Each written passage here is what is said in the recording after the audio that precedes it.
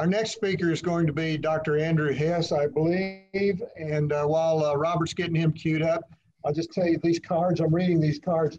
I remember in church once upon a time, I have to be careful about reading cards. I get a little bit sort of paranoid about it.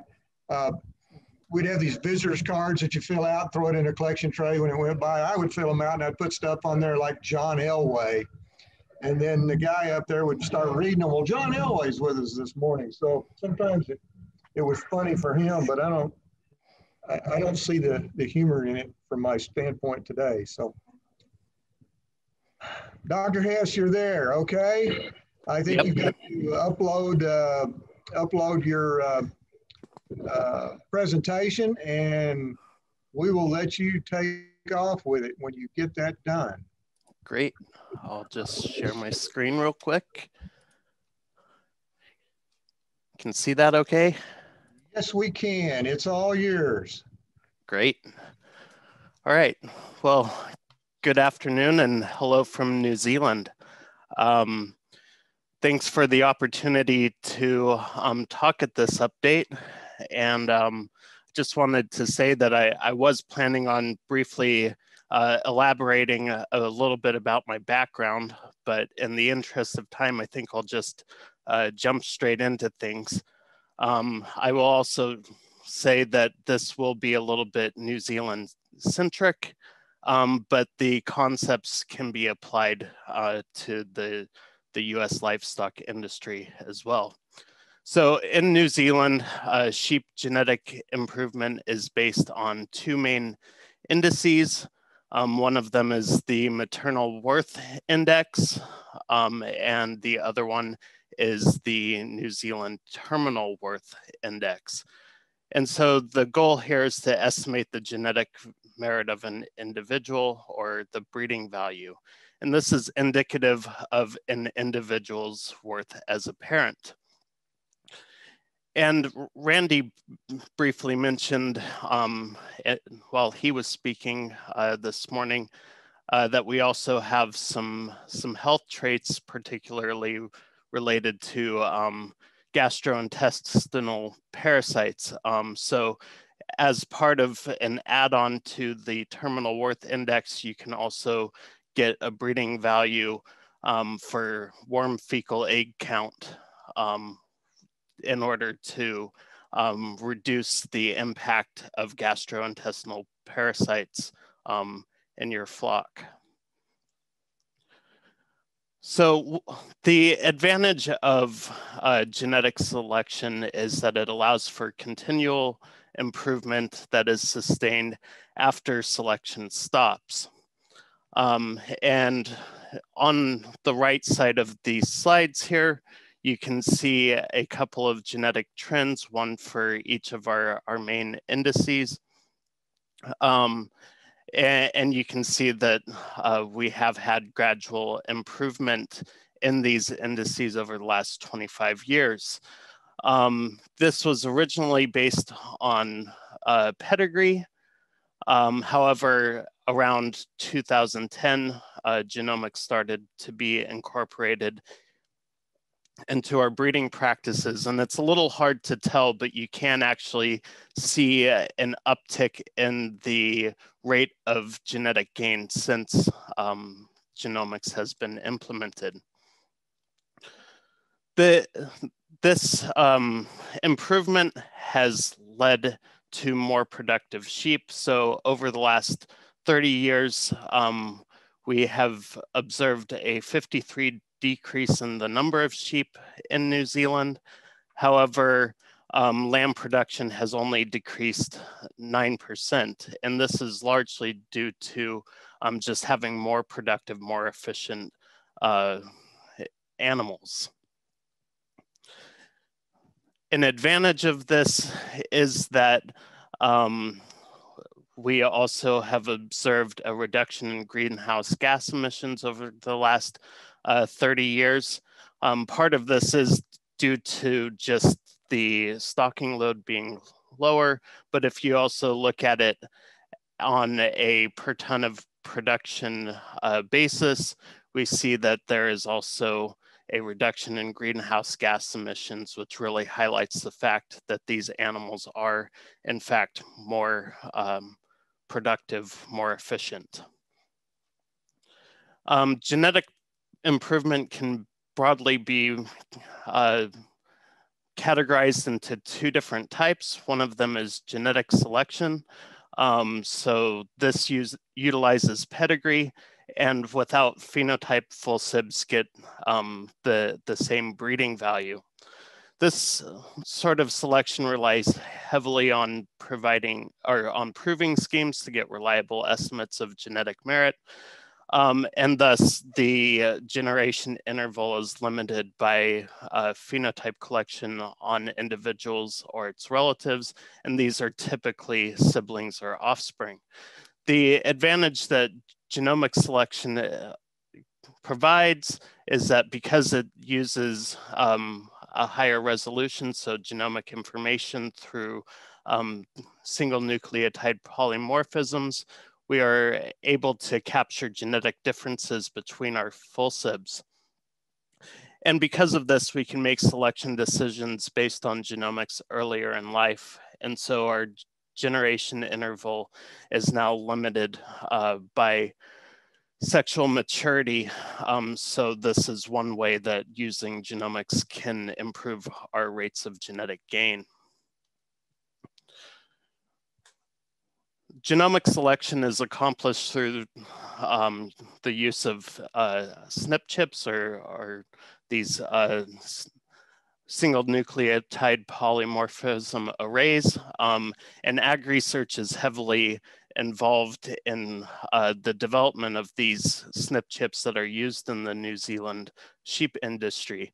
And these can be broken into two different categories. One of them is a high density SNP array, which is primarily used um, for research and development purposes, um, but it is also commonly used to genotype um, highly influenced sires, for example, to get um, better resolution on their uh, genetic merit.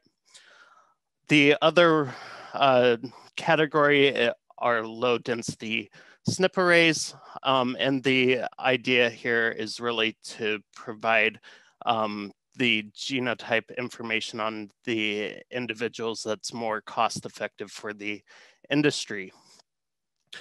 And one thing that I do want to highlight is the fact that these are under continual improvement. Um, and one of the things that I've been focusing on here at AgResearch is identifying causative variants through the use of whole genome sequence data, um, which has the potential to improve genomic selection while keeping the costs of genotyping low.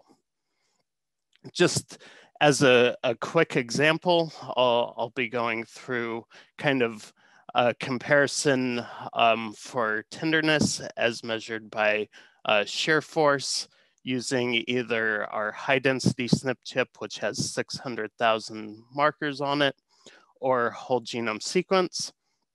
Um, and you can see here, this is what's called a Manhattan plot. So along the x-axis, we have our chromosomes, and on our y-axis, we have a p-value related to the strength of association um, between that genotype and the um, trait of interest, so tenderness.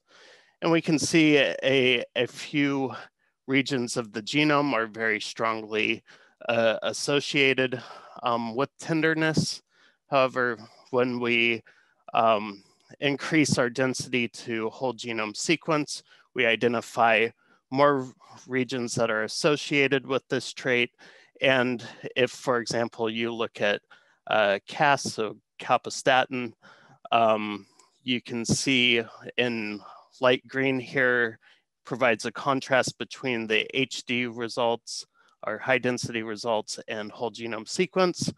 So we do find stronger associations with our whole genome sequence data, um, which these markers can be placed on our SNP chips in order to provide more accurate um, estimates of breeding values.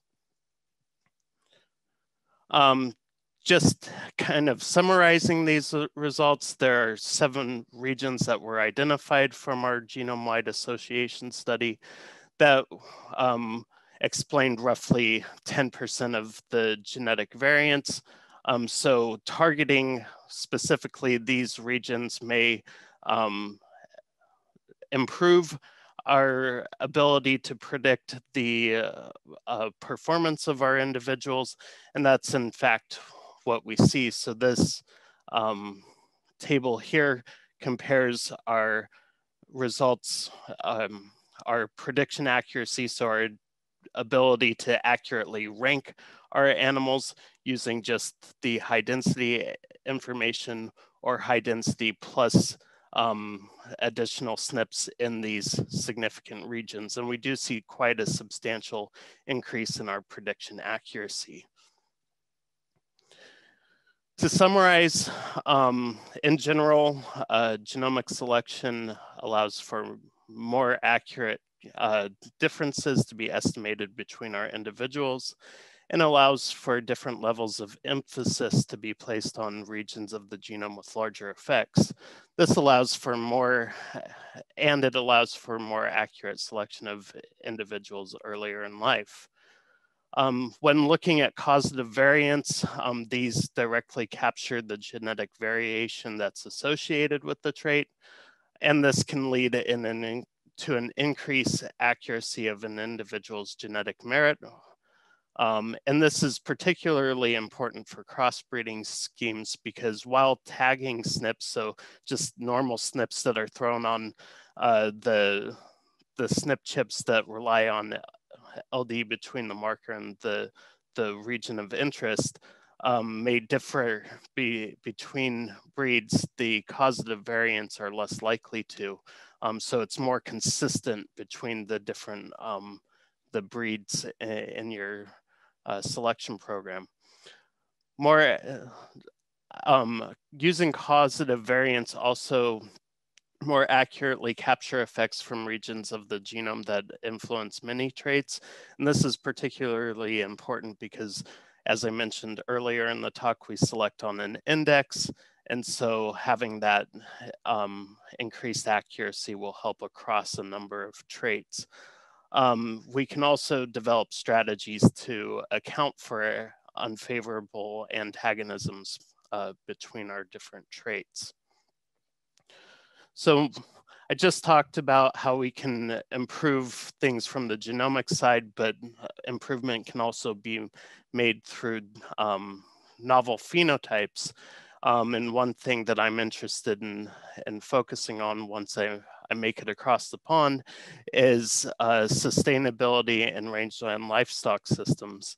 Um, and, and, so the way that I see it is uh, it's really broken down into three broad categories, including economic viability, social acceptance, and environmental impact.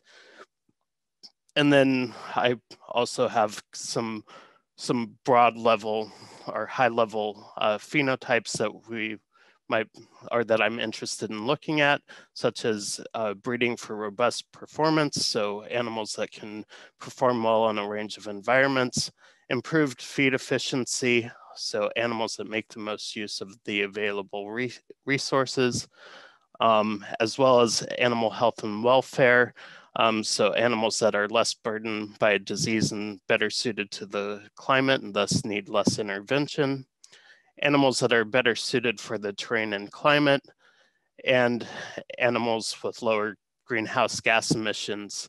Um, so animals that have, um, for example, reduced methane emissions. And just want to note in terms of the land use behavior, so Mozart this morning uh, had mentioned that you know there's a favorable genetic correlation between production efficiency and um, water use. And so that that's eh, an example uh, of land use behavior. I also want to mention that there usually is a positive correlation or favorable correlation between feed efficiency and greenhouse gas emissions. And so all of these things do kind of tie into each other. With that, um, thanks for your time. Um, I'm definitely interested in hearing any challenges that you have, so feel free to contact me um, at my AgResearch email um, if you want to get a hold of me before I start in July. And thanks. I'll